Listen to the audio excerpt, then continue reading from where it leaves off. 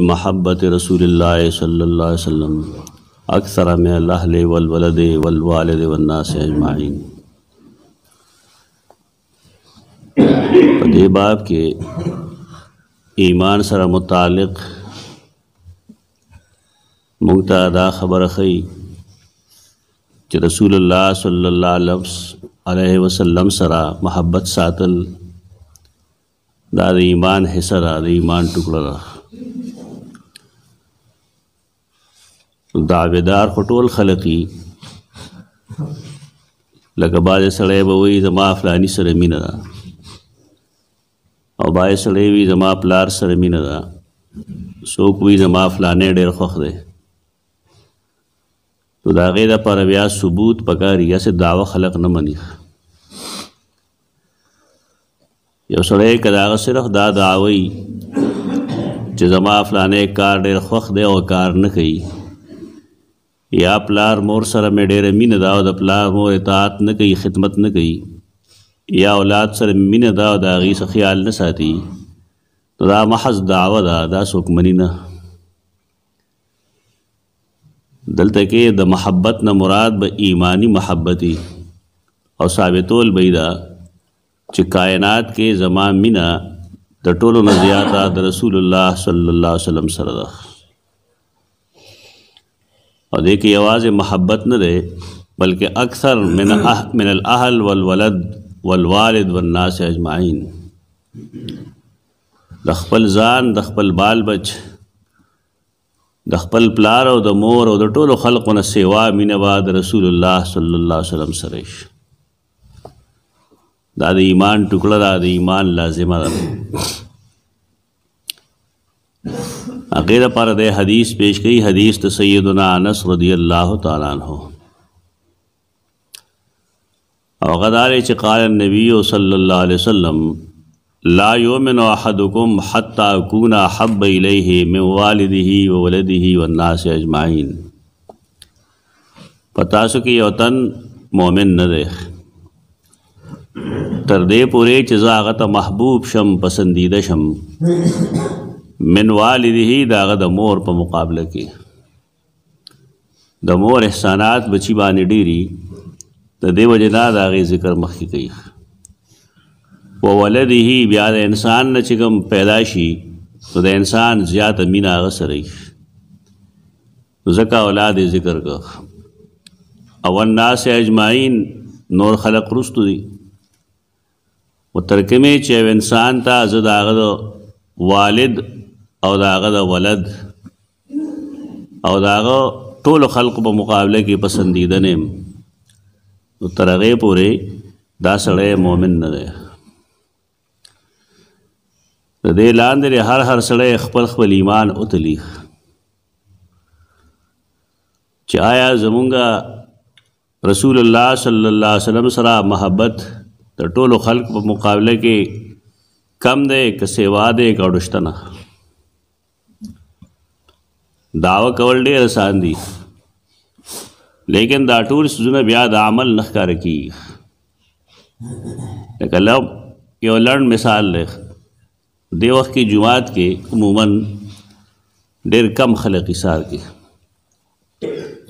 موږ الحمدلله ډیر پدې یو چې دلته کې کافي وخت شوی دی مهنت کیږي کوم ځایونو کې چې مهنت نه کیږي هلته کې د سحر حاضری ډیره کمه وي خو عجیبه دا ده چې کله یو شل منټو شي د مانځو نو بیا مونږ وګورو بلکې مونږ چې جمعات نه وځو نو دغه ټایم کې د سکول ماشومان سړک کې ولاړي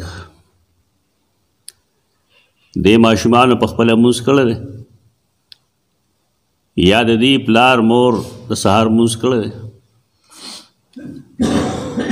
دکاندار دکان ته ډېر وختي وختي رواني لیکن د سهار د موس کیه بغیر سهار موس به نه کړی روان وي سکول ته کالج ته یونیورسيټي ته هر هر سړی د خپل دنیایي یو څو ورځې ژوند دپاره ډېر وختي وختي وځي خو د سهار د مونځ دپاره ټایم نه نو سوال دا چې که دا سړی دا وکړي چې زما د رسول الله صلی الله سره محبت دی او دی د سهار مونځ نه کوي نو دا د څه شي محبت دی محبت کول مستلزم دی اطاعت لخ یعنی د نبی کریم صلی الله علیه وسلم سره چې محبت وی ناغا پخلی بنئ او د عمل نه ښکار کیږي د سحر د مونږ په باره کې رسول الله صلی الله علیه وسلم فرمایلی دی چې رکعت الصبح خیر من الدنیا و ما فیها د سحر دو رکعات فرض منز دا د دنیا او دا غي مال او دولت نه چې په دې کې پراتی دي د سحر دا دو رکعات منز ته غوړه ده دا ګپه خو نه دی کنه رسول الله صلی الله علیه وسلم صدا سے انسان خو نه دی چې انسان باغ سره د مینې داوو کې خبره پوره شوه قران مجید کې د نبی کریم صلی الله علیه وسلم او د الله د مینې یو تذکرہ کړی دا کله یو سړی الله سره د مینې دعوی قرآن فرمائی ان کنتم تحبون الله فتبعونی کچره تاسو الله سره محبت کوئ نو الله سره د مینې طریقه دار ذریعہ چې د رسول الله صلی الله علیه وسلم سنت باندې روان شي الله مخلوق نه دی هغه د انسانانو دعوی پیژني او بیا د انسان په دعوه کې او دغه په عمل کې په فرق هم پوي چغې هم ډېر زیاتې وو خو چې کله غم او خالی راشي نو بیا د انسان پته ولګي چې د رسول الله صلی الله علیه وسلم په طریقه عمل کوي کده د هندوانو په طریقه عمل کوي دا زمونږ دعوه شعوري دعوه نه ده دا لا شعوره کې مونږ لګیا یو انسان چې کله پوه شي چې او زما د نبی کریم صلی الله علیه وسلم سره مینه ده نو بیا دې په دې پوي چې زما خپل اختیار نشته اوس زما د اختیار د خبرې منلو نه منلو هغه باغی کم چې د رسول الله صلی الله علیه وسلم ده دا محض ادعاءات دي دا دعوی دي پته شه دعوه سره جوړیږي مینا محبت د رسول الله صلی الله علیه وسلم سره دا ډېر مشکل کار دی پر رسول الله صلی الله علیه وسلم چې مکه مکرمه کې کوم خلقو ایمان راوړو مینه وکړه غسرہ دا غیسه انجامو قریش هغه پرې هودل قریش وانه پرې خدای مړ کول ایمانی محبت دا ډېر مشکل کار دی زمون خلک خاصه دنیا کې لګیایي د انسانانو مینې مینې کوي لګیایي لیکن رسول الله صلی الله علیه وسلم سره مینه کول دا آسان کار نه دی دا شاعر وایي چې یې شهادت ګه الفت مې قدم رکھنا ہے لوګ آسان سمجھتے ہیں مسلمان ہونا د خلکو خیال لای چې مسلمانی ګنده اسانه ده مینس کې دا د مینې په شهادتګاه کې د مینې د پاره په مړ کېدو کې داغه په میدان کې قدم کې خودل نن یو داسې عالم چې قرآن او سنت ته خلق راولي دا وسوک منن کې نه ډېر کم وي خلق به هغه مذاق وړاوي خان دی بور پورې کله به دنیا کم ځای ته ورسېده او دې سګي دا اوس هم دغه حال دی د پيو مجنونان یا هغه مینه کوونکي چې د پیو مینه کوونکي دا ډېر شي دي لیکن چې کله ازمایش راشي امتحان راشي نو بیا پته لګي ښکاره سوزونو نه معلومیږي د یو سړي د زوی سنتي نو خلک څه کوي هغه سره اوس خو خدای له کار سم شوی دی په خاوې په اسور کوګه د شهید بابا له به ووت هغه نه به وځلته وکړو چې ښه کافر شي نو بیا به سنت کو دا چې کوم علاقو کې او کوم کلو کې باباګان نه نه ایستل کوي او د رسول الله صلی الله علیه وسلم وسی سیدنا حسن سیدنا حسین او داغه بچی هغه سنت کړی دی دغه دغه طریقه داغه زینا زمونږه د نبی کریم صلی الله علیه وسلم مخالفت شروع شي او د چا منو کور کې چې کومه زمونږ سرتوره خزې داغه منو دا د مینې مقابله شروع شو یو زنانه به هغه به هیڅ په دین نه پوي لیکن خاوند دغه داسې موټي کې غستره چې هغه د رسول الله صلی الله علیه وسلم په تابعدارۍ سکار نشته خو ښځه خوشحاله ښه چې دي کور یې راته وې داسې بیا کوېدنې کې څه حرکتونه کېږي په واده کې څه حرکتونه کېږي هغه عباداتو کې پرېږده چې هغې مونږ څه څه کوو په عباداتو کې هم د نبي کریم صلی الله علیه وسلم سنتونه پاتې شوي دا محض د چا خبرې نه دي بلکې نبی کریم صلی الله علیه وسلم سره د محبت لازمه ده دا چې دی به اتباع دا کوي کبل طرف ته هر سره دی چې دا دلیل دی او دا دلیل دی هیڅ دلیل نشته د نبی کریم صلی الله علیه وسلم د سنت په مقابله کې دا د دعوت په مقابله کې هیڅ چا سره هیڅ دلیل نشته کین خپل کار دی دا د مینې دعوه دغه لوازمات دي دغه تقاضي دي د دغه مینې په بنیاد باندې مونږه د رسول الله صلی الله علیه وسلم بیبیانې هغه ته امهات المؤمنین وایو خپل مین دي دا د مینې بنیاد ورنه زمونږ خو هغه داسې مین دي نه دي چې ګنې مونږ د هغې نه پیدا یو او دا د ادب او د احترام د وجې او د نبی کریم صلی الله علیه وسلم سره د محبت د وجې مونږه بی بی عائشه صدیقه وایو رضی الله عنها ام المؤمنین جویریه وایو رضی الله عنها دا د مینې تقاضی دي هغه زمونږ حکمن وین دي ځکه قران مجید مونږ ته فرمایلی دي چې د رسول الله صلی الله علیه وسلم نرستو با لا انتن کې هو ازواجه من بعده ابدا دا خذ سره با دا غ نرستو نکاح نه کوي دا جدا جدا اندازونه الله ورکړي رسول الله صلی الله علیه وسلم قرآن فرمائی ازواجہ امہاتہم النبی اولا بالمومن من انفسہم وازواجہ امہاتہم نبی زیات اولاد زیات غره دی مؤمنانو ته د هغوی د خپلو نفسونو نه او مستحق دی د عزت دومره یو انسان د خپل ځان د پاره مستحق نه دی څومره چې د رسول الله صلی الله علیه وسلم د پاره مستحق دی دی وجه نه دا مینه مینه الفاظ چې قرآن فرمایي یا حدیث کې دا بظاهر آسان الفاظ دي لیکن دا ډېر مشکل کارونه دي تر ګران کار دی اچھا تپوس کړو صحابه کرامو نه چیرې تاسو مینا رسول الله صلی الله علیه وسلم سره سمره ده نغی جواب داو چې مونږ د رسول لپاره ځان مړکو او مونږ عمل نه خوذلی خلک په خله لګي صحابه کرامو عملا خوذل دي په جنگ بدر کې احد کې حنین کې خندق کې نور بشمیره جنگونو کې هغه د نبی کریم صلی الله علیه وسلم د پارزان قربان کړل او داغه د مینې کې ځان قربانول یا د نبی کریم صلی الله علیه وسلم د سنت د اجرا لپاره تکلیف برداشت کول دا ډول یو څه دا د مینې تقاضا ده کوشش دا پکار دی چې انسان دی د رسول الله صلی الله علیه وسلم سره خپل مینا ښکار کی نو دا یو طریقه ده چې انسان دی داغه پشان اعمال کوي کوشش دی دا کوي چې داغه اتباع وکړي